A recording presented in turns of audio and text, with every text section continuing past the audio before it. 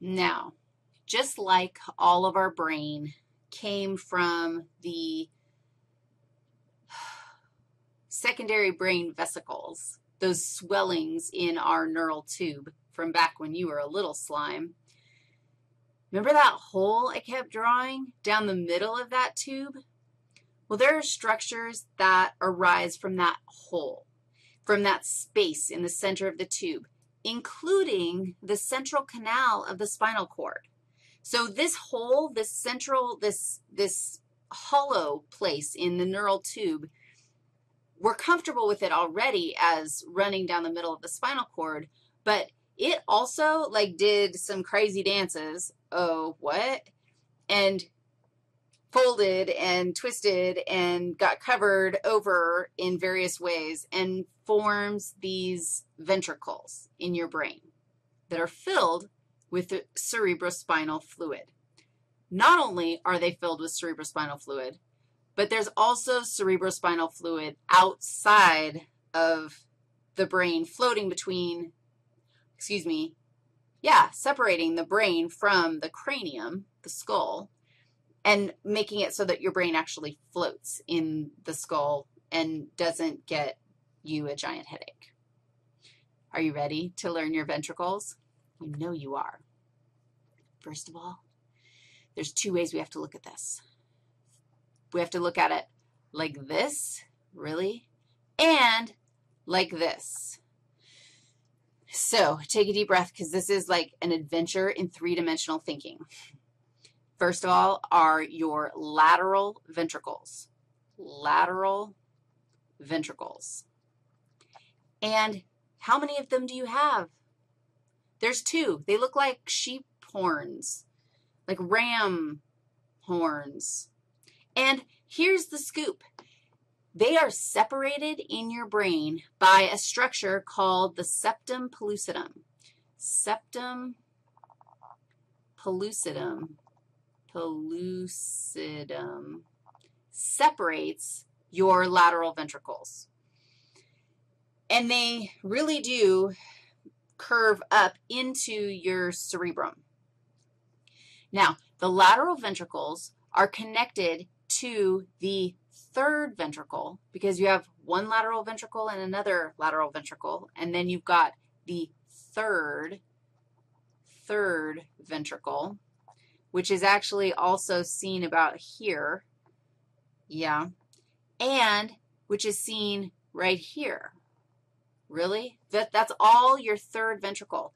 But connecting the lateral ventricle and the third ventricle, connecting two ventricles, is the interventricular foramen.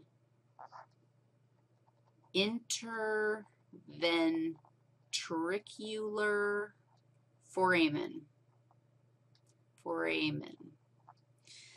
All right, so connecting them, we've got the interventricular foramen, and then we're in the third ventricle. The third ventricle is kind of in this thalamus, hypothalamus, epithalamus zone, and it's a space. And then there's another little uh, duct, and it's this thing right here. And that one is the uh, cerebral aqueduct, A-Q-U-A-D-U-C-T. Lateral ventricle connected to the third ventricle through the interventricular foramen. Third ventricle connected to the fourth ventricle from the cerebral aqueduct. So the fifth thing that we're going to look at is the fourth ventricle. Oh, my gosh, you got to be kidding me. It's not as bad as you think, or maybe it is. Is it as bad as I think? What I say? Fourth ventricle. And here's the fourth ventricle. The fourth ventricle is between the cerebellum and the pons, and it's a space that you can stick your little probe in. And here it is here, that's the fourth, and here it is here, that's the fourth. Did you follow that?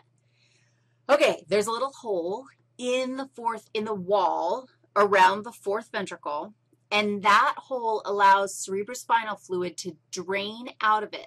And it drains out of that hole and into the surround, like it goes from the, there's a hole in here, and it drains into the area surrounding the brain itself.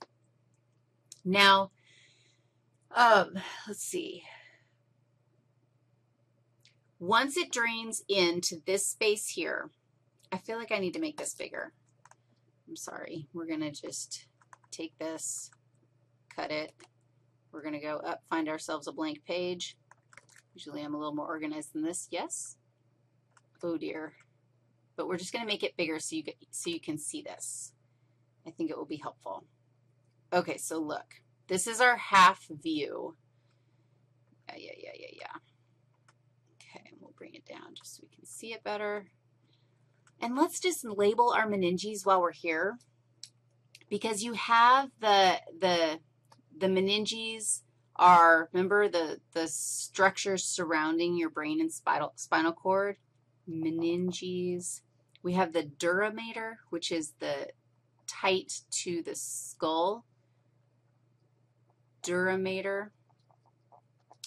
And then we have the pia mater. Remember that guy? Here's pia mater tight to the brain. And then between them was the fantastical arachnoid mater, arachnoid mater. And that was kind of a, a spider webby stuff in between. Now, here's the scoop, my friends your cerebrospinal fluid actually drains into the subarachnoid space. So it drains into the space between the pia mater and the arachnoid mater. And that's what you're seeing right here. Cerebrospinal fluid is this stuff right here, this light blue stuff. But what's the dark blue stuff? You know what that is? Holy bloody hell. It's blood.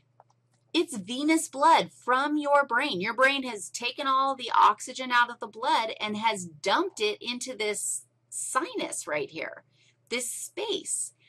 And you have little like mushroom-shaped structures within that space right here. And these guys basically drain cerebrospinal fluid into the blood.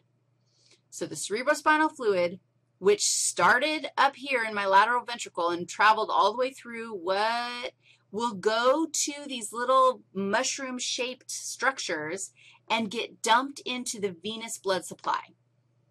Old blood is then carried out of the brain through the jugular vein and to the heart and then to the lungs to get reoxygenated and sent back around to the body again. Your cerebrospinal fluid because it's being produced in your brain constantly, is constantly, there's almost like a higher pressure of fluid in there, so it's constantly being dumped back into the blood supply, which enables you to constantly be cleaning and renewing that cerebrospinal fluid. If you look down here at the bottom of my brain, boy, you can actually see that the cerebrospinal fluid can travel down through the outside like surrounding the spinal cord. Because remember that we had dura mater in our spinal cord as well. And so that, it, it can circulate there as well. oh my gosh, how did you do? That is fantastic. And this lecture is done.